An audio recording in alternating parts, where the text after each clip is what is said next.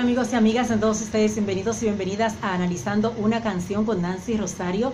La canción que analizaremos en esta ocasión es una salsa, está ritmo de salsa, se titula El hijo de Madame Inés y es interpretada por Bonnie Cepeda. Vamos a escuchar sus letras y enseguida el análisis.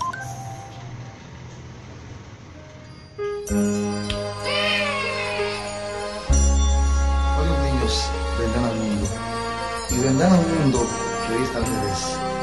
Porque uno es hijo de Madame Inés Escribí, por favor. y el otro es hijo de la vieja Merced. Me quedan mis zapatillas por ahí.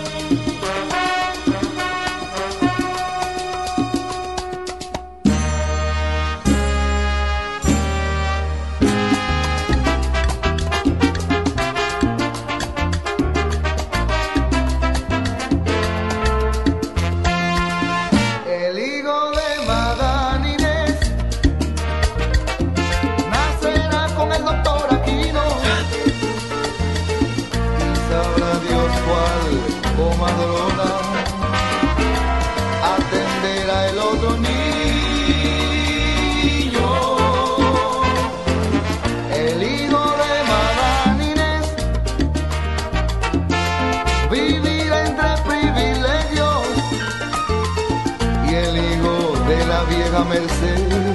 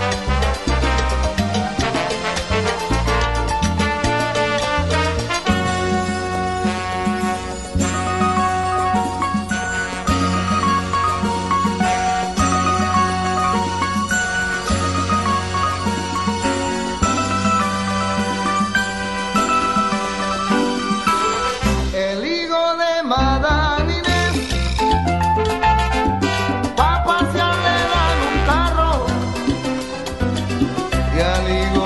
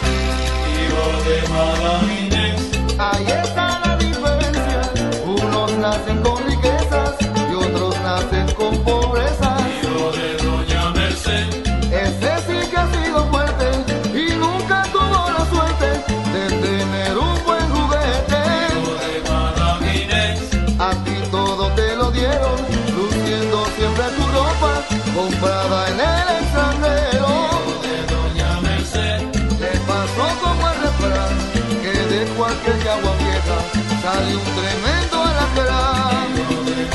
de Inés, A ti todo te lo dieron, luciendo siempre tu ropa, comprada en el extranjero. de Tú siempre tuviste todo, nunca pisaste en el lodo, tu vida fue de otro modo.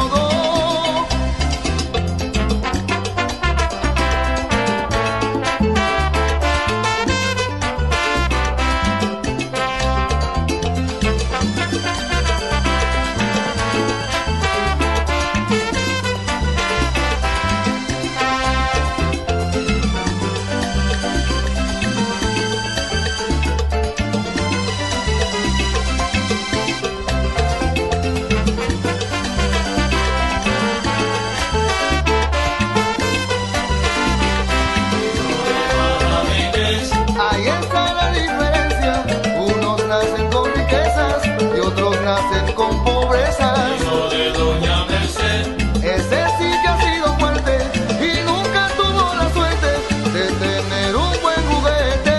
hijo de Tú siempre tuviste todo, nunca pisaste en el lodo. Tu vida fue de otro modo.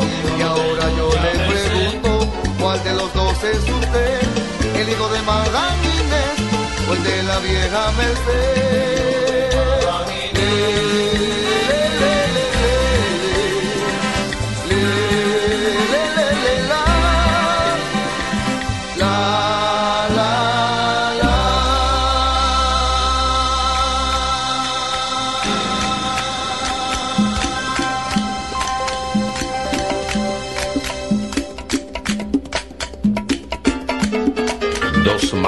Han parido, han parido a distancia.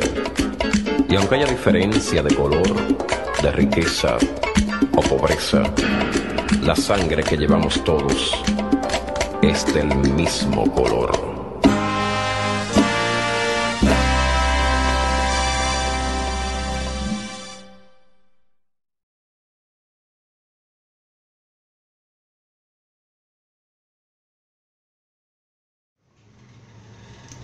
Bien, luego de escuchar las letras de la canción, quizá usted se pregunte, bueno, ¿y qué hay que analizarle a esto? Porque es la realidad que vivimos durante siglos. ¿Mm? Clases sociales, la distinción, ricos y pobres. Sin embargo, hay un ingrediente diferente y nuevo que quiero añadirle y compartir con todos ustedes. Y es el ingrediente de la esperanza bíblica que Jehová Dios, que no miente, promete a través de la Biblia. Fíjense, somos muchos los que nos identificamos con el hijo de la vieja Merced. Pero, ¿qué futuro hay para el hijo de la vieja Merced? ¿Siempre estará en la pobreza? ¿Sus descendientes? ¿Siempre nacimos para que hayan ricos y pobres y ya? Pues no. La esperanza es que la Biblia nos tiene un mensaje que real y efectivamente cambia todo el panorama.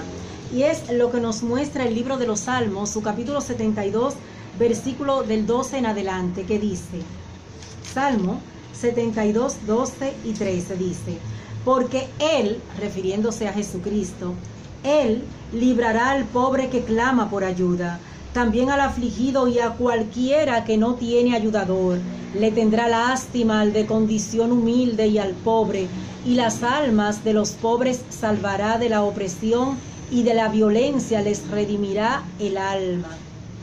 Esto es el libro de los Salmos, su capítulo 72, versículos 12 y 13, que usted puede también buscar y leer en su Biblia para confirmarlo. También está el libro de Isaías, libro profético de Isaías, su capítulo 65, versículo del 21 en adelante. Y este libro profético de Isaías es bien interesante porque recuerde que el profeta Isaías pronosticó la destrucción de Babilonia por el rey Ciro y esto aconteció tal y como Jehová lo había pronosticado a través de Isaías. Pues mire las profecías que faltan por cumplirse del profeta Isaías 65, 21 que dice, y ciertamente edificarán casas y la ocuparán, y ciertamente plantarán viñas y comerán su fruto. No edificará ni otro lo ocupará, no plantará ni otro lo comerá, porque como los días de un árbol serán los días de mi pueblo, y la obra de sus propias manos mis escogidos usarán a grado cabal. No se afanarán para nada, ni darán a luz para disturbios, porque son la prole que está compuesta de los benditos de Jehová y sus descendientes con ellos. Y realmente sucederá que, antes que ellos clamen, yo mismo responderé. Mientras todavía estén hablando, yo mismo oiré. Y sigue, sigue hablando maravillas acerca de que los animales salvajes van a posar con los animales mansos y no habrá violencia. Es interesantísimo este libro profético de Isaías 65, 21 que quisiera que ustedes también pues lean porque le llenará de esperanza. El hijo de Madame Inés y el de la vieja Merced que hoy día representa la sociedad que se vive en todo el mundo, llegará el tiempo en que todos, todos seremos como el hijo de Madán Inés. Todos, porque desde un principio fue el objetivo de Jehová y Él no miente y hará realidad todo su propósito. Gracias por el favor de su atención, pero antes de despedirme queda simplemente una pregunta abierta.